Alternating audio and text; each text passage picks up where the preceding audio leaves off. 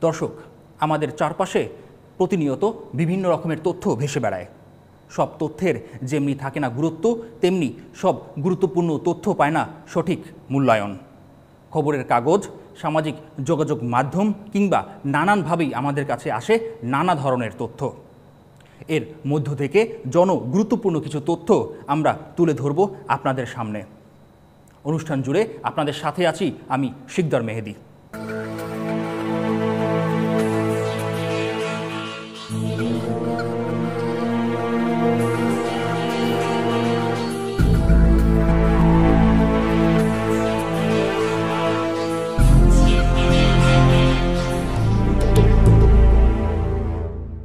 দর্শক, ওয়াকফ শব্দটির সাথে আমরা কম বেশি সকলেই পরিচিত। কিন্তু যেটির সাথে পরিচিত না, সেটি হচ্ছে ওয়াকফ কানুন। যে কারণেই হর হামেশাই শত শত কোটি টাকার সম্পদ হারাচ্ছে সরকার। আর প্রভাবশালীদের হাতে চলে যাচ্ছে কোটি কোটি টাকা। কিছু অসাধু ব্যক্তি হচ্ছে আঙ্গুল ফুলে কলা গাছ। প্রত্যক্ষ পর্যবেক্ষণের আহ্বানে সাড়া দিয়ে আমরা সরেজমিনে বাস্তবতা দেখতে চাই। তবে তার আগে ওয়াকফ নিয়ে কিছু তথ্য আপনাদের জানিয়ে দেব।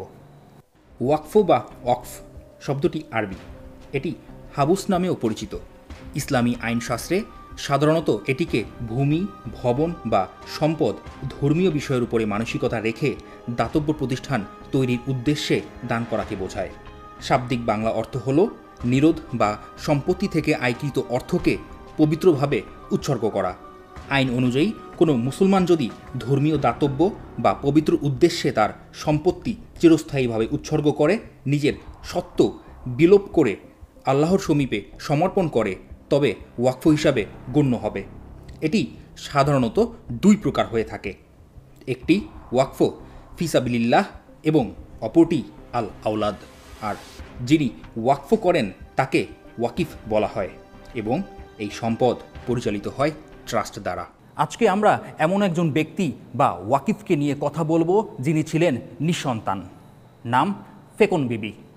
কিন্তু অনেক সম্পদের অধিকারী থাকায় একটি মসজিদের নামে নিরানব্বই শতাংশ জমি ওয়াকফ করে দিয়েছিলেন তিনি। নির্মাণ করা হয় মসজিদ আর প্রথম ইমাম হিসেবে নিযুক্ত করা হয় মুন্নাফ মুন্সি নামের একজনকে।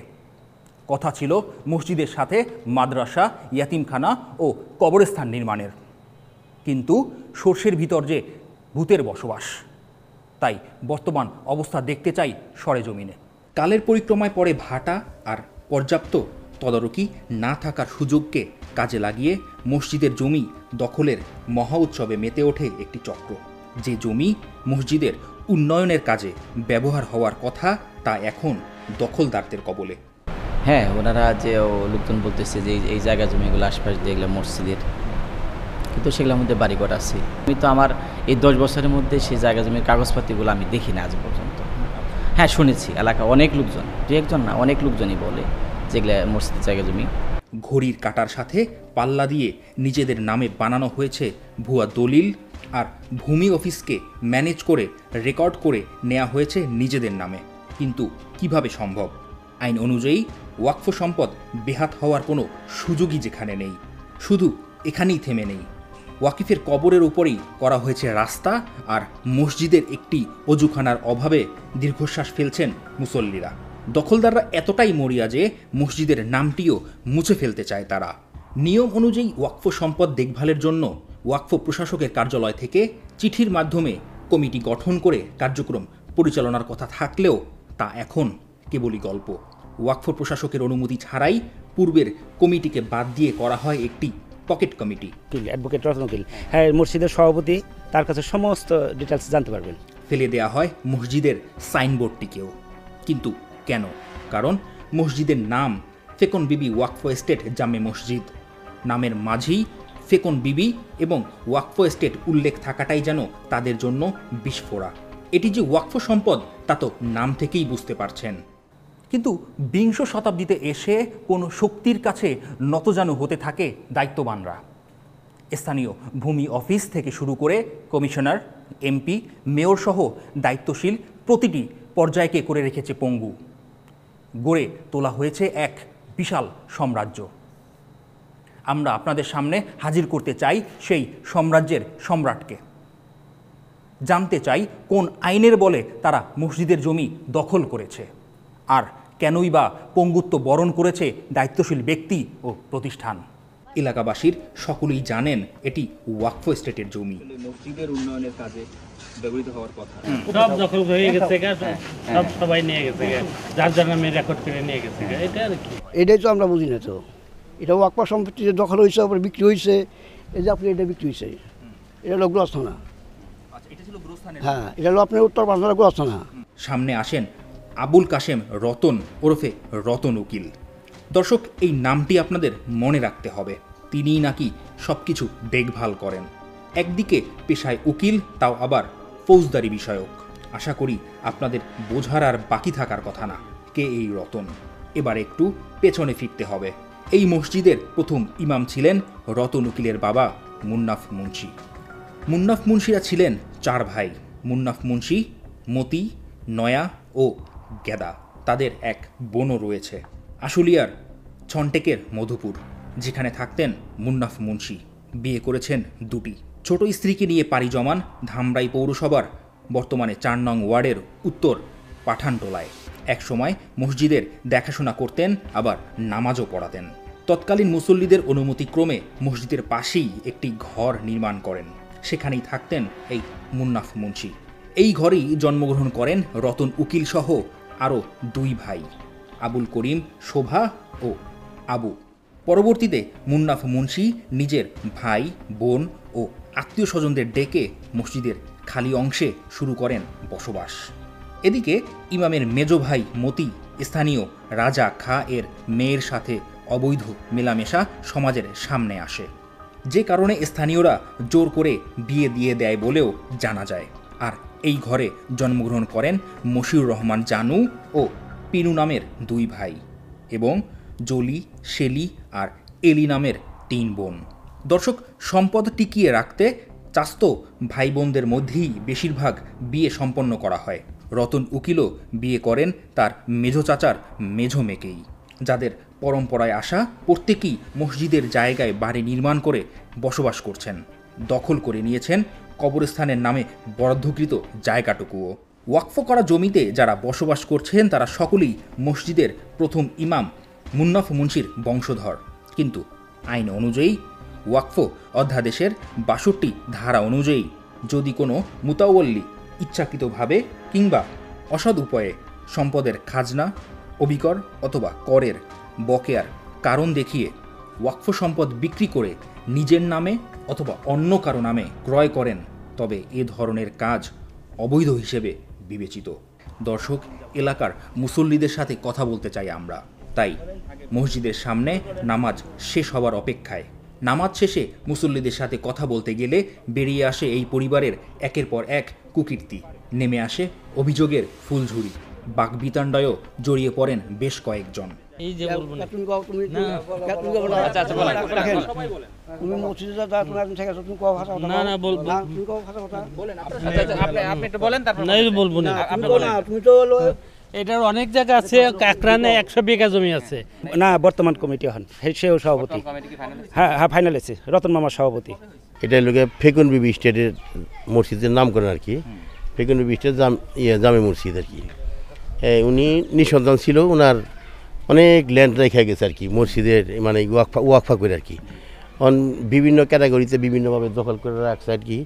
এখান থেকে শুরু করে সব ফেকুন বিবি স্টেটের জায়গা আর কি। এগুলো সে- হ্যাঁ শুন- তারপরে এখন আমার কথার উপরে তো আর ডিপেন্ড করবে না। দেখবে পেপার পেপারে যেখানে আছে ওইগুলো নকশা আছে। হয়তো মানে শোনা কথা আর কি যে ফেগুন বিবি ওয়াকফা স্টেটের যেখানকার যে ই আর কি নথিপত্র এখান থেকে ছিঁড়ে ফেলছে। এক ছেলে আমার জানা মতে আর কি ওইটা এটা তো ভারতবর্ষ ছিল। ভারতবর্ষ বছর তখন থেকে এইটা উনি আমার কিন্তু ভারত থেকে সংগ্রহ করছে। ওই কীভাবে মানে কোথায় অবস্থিত কতটুকু জায়গা সবগুলো ওই পেপারসগুলো ওনার কাছে আছে আর কি আমার জানা মতে আর কি। না তারপরেও কফি আছে আর কি। কফিগুলা ওনার ওই সংগ্রহ করে রাখছে আর কি। ওনাদের উনি যেহেতু আওয়ামী লীগ লিডার ওনার আত্মীয় স্বজনদের আর কি গ্রাস করে রাখছে আর কি। ওনারাই ওনার মানে শোনা কথা ওনার বাবা ছিল এখানকার ইমাম। ইমাম থাকা অবস্থায় তখন এগুলা জঙ্গল ছিল আর কি। এগুলা তখন এই যে স্থানীয় লোকেরা কইছে যে মসজিদ ইমামতি করে আপাতত থাক আস্তে আস্তে আস্তে আস্তে বিস্তার করছে আর কি। এবং আর কি দখলে রূপ- রূপান্তরিত হয়েছে আর কি। পাঠারটোলা জামে মসজিদ না ওটা হলো ফেকুম্বু স্টেজ জামে মসজিদ। তাই কওয়া উচিত। তারা এইভাবে শুরু করছে। তাদের কাছে কোনো কাগজপত্র নেই ভুয়া তারা মিথ্যা রটনা করে আওয়ামী লীগের একটু প্রভাবশালী দেখায় এইভাবে রয়েছে তারা। এ সময় নব্যগঠিত মসজিদ কমিটির নিয়োগকৃত ইমাম সাহেবের কাছে মসজিদের কাগজপত্রের বিষয়ে জানতে চাইলে দেখান বর্তমান কমিটির সভাপতি রতন উকিলকে। তার কাছেই রয়েছে সব কিছু এই বিষয়ে রতন উকিলের সাথে দেখা করতে চাইলে বারবার সময় দিয়ে নানান অজুহাতে সময় ক্ষেপণ করতে থাকেন তিনি। রতন উকিল এবং করিম, একই পরিবারের দুইজন জাদ্রেল রাজনীতিবিদ।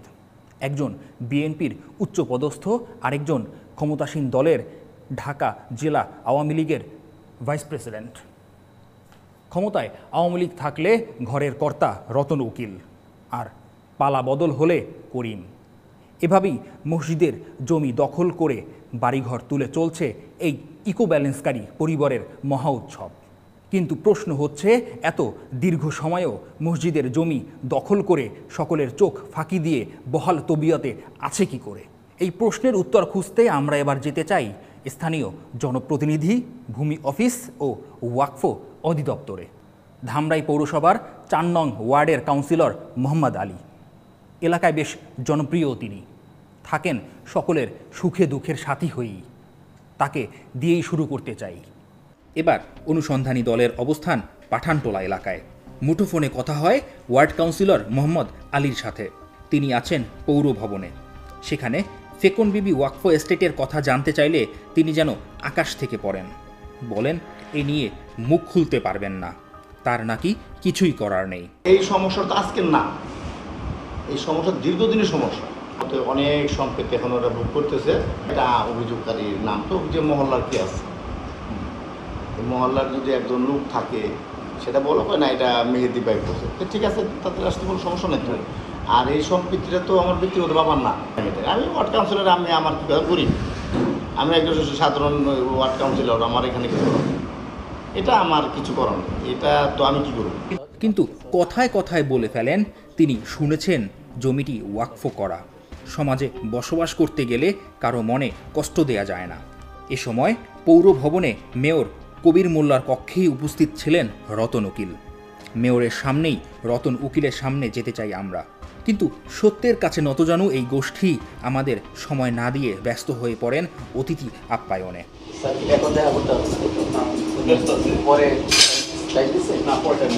একজন কাউন্সিলরের এ ধরনের বক্তব্য কতটা বাঞ্ছনীয় সেটা আমাদের বুঝতে আর বাকি রইল না। তবে তার এই মুখ না খোলাটাই আমাদের জন্য সাপে বর হয়ে এসেছে। অর্থাৎ দখলকৃত জমির কাগজপত্র থাকলে তিনি বলতেন আমার জানা মতে সব কিছু ঠিক আছে। কিন্তু বিষয়টি এড়িয়ে যাওয়ার অর্থ আমাদের আরও একবার এই ঘটনার সত্যতা জানান দেয়। কাউন্সিলর সাহেব কি আসলেই কারও মনে কষ্ট দিতে চান না, নাকি রতন উকিলের ভয়ে মুখ খুলতে পারছেন না? সে বিষয়ে আমরা একটু পরে আসব। তবে তার আগে যেতে হবে স্থানীয় ভূমি অফিসে। কি বলে ভূমি অফিস? ফেকন বিবি ওয়াকফ এস্টেট নিয়ে ভূমি অফিসের একটি কাগজ আসে আমাদের হাতে। সেখানে স্পষ্ট উল্লেখ আছে মসজিদের নামে দানকৃত নিরানব্বই শতাংশ জমির কথা। তবে ধামরাই ভূমি অফিসের সহকারী কমিশনার ফারজানা আক্তারের কাছে এ বিষয়ে জানতে চাইলে তিনিও আজকাল করে পাশ কাটাতে থাকেন। তাই কোনো কথা না বাড়িয়ে তথ্য অধিকার আইনে তথ্য চেয়ে ভূমি অফিসকে চিঠি দেয় অনুসন্ধানী দল আজকে তো না শনিবার নিজে যাব আমরা কি আপনার সাথে সামিল হতে পারি কিনা আপনার পরিদর্শনে? পরিদর্শনে সামিল হন কিন্তু ওখানে কিন্তু ওটা আমরা ইয়ে করা দরকার নেই পত্র না আগে দরকার নেই। আপনারা পার্সোনালি আই মিন আনঅফিসিয়ালি আমার সাথে ওখানে ভিজিট করতে পারেন একসাথে। দুদিন পর আমাদের কাছে খবর আসে জমি পরিদর্শনে পাঠানো হয়েছে নায়েব বেলাল হোসেনকে। তিনি চিঠিতে সুকৌশলে একটি বিষয় এড়িয়ে যান কিন্তু সেটি তার ভুল ছিল বলে স্বীকার করেছেন বেলাল হোসেন। উনি পঁচিশের ভিতরেই আছে মসজিদ আছে এটা অস্বীকার করা যাবে না ওই উত্তর সাইডে ইমাম আছে এগুলো নিয়ে পঁচিশ আছে। কিন্তু আর দুইটা যে থাকে জমি আছে নিরানব্বই শতাংশ জমি। পঁচিশ গেলে আর কত থাকে? এই এই- এই জমি এই জমিটিকেই আমার মতে মনে হয় যে এই আশেপাশের লোককে দখল করে আছে।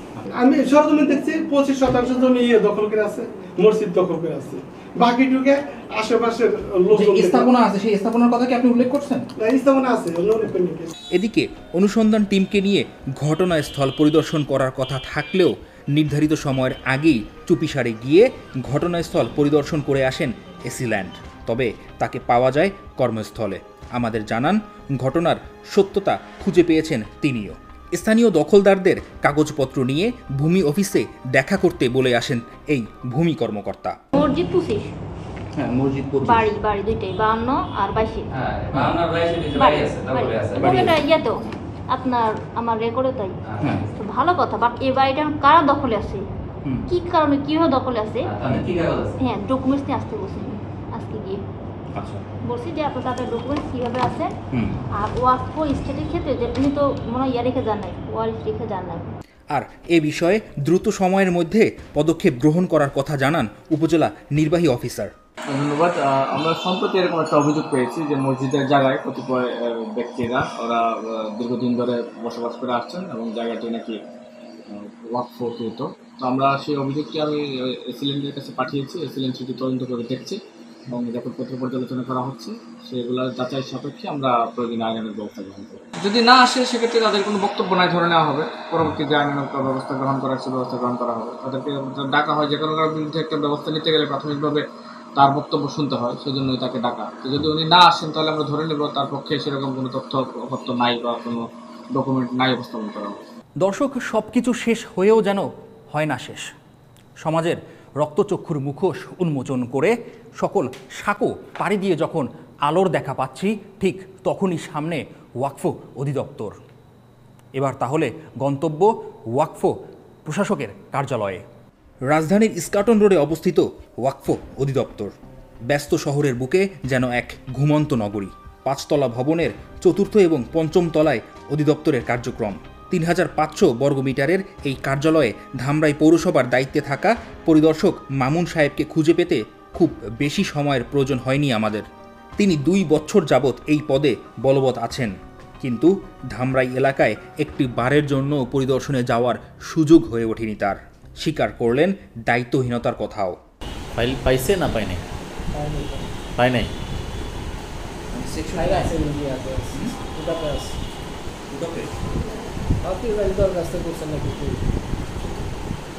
কেউ দরখাস্ত করছে? পোড়াবে আছে? ফেকন বিবি ওয়াকফ এস্টেটের কথা জানতে চাইলে থ খেয়ে যান জনাব মামুনুর রশিদ। বেশ কিছু সময় ধরে একটি খাতা বের করেন। সেখানে ফেকন বিবির নাম পাওয়া যায়। পরে এ বিষয়ে কথা হয় অধিদপ্তরের সিনিয়র সহকারী সচিব শাহরিয়ার হকের সাথে। এ বিষয়ে বারবার চেষ্টা করেও দেখা পাওয়া যায়নি ওয়াকফ প্রশাসকের। দর্শক, ফেকন বেবি ওয়াকফ স্টেটের বিষয়ে আমাদের অনুসন্ধান চলমান। তথ্য অনুসন্ধানে গিয়ে আমাদের হাতে আসে এই স্টেটের গুরুত্বপূর্ণ কিছু দালিলিক প্রমাণ। এমন কিছু দলিল যা ভূমি অফিস কিংবা অধিদপ্তরে থাকার কথা থাকলেও কোনো এক অদৃশ্য ইশারায় দপ্তরের ফাইল থেকে সরিয়ে ফেলা হয়েছে বলে দাবি তথ্যদাতার। এমন অনেক চাঞ্চল্যকর, নিষ্পাপ, অবাক করা তথ্য প্রমাণ নিয়ে আগামী পর্বে হাজির হব আপনাদের সামনে। কথা দিচ্ছি আমরা চাই জানতে এবং জানাতে। দর্শক, আপনার কথা জানাতে আমাদেরকে লিখতে পারেন এই ঠিকানায়। করতে পারেন ইমেইল কিংবা জানাতে পারেন স্ক্রিনে দেয়া মুঠোফোন নাম্বারে।